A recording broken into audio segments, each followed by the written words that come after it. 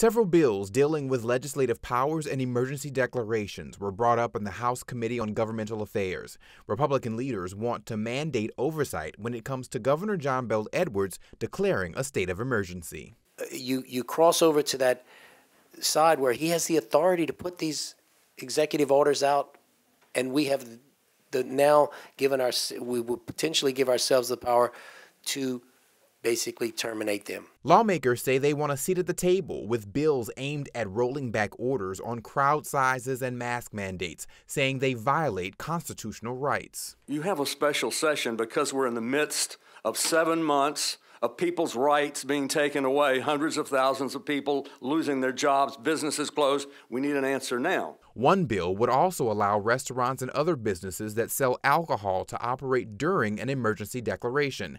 Those against the bill say the governor has already brought lawmakers into COVID 19 discussions. They argue these new rules would cost too much time when emergencies need quick action.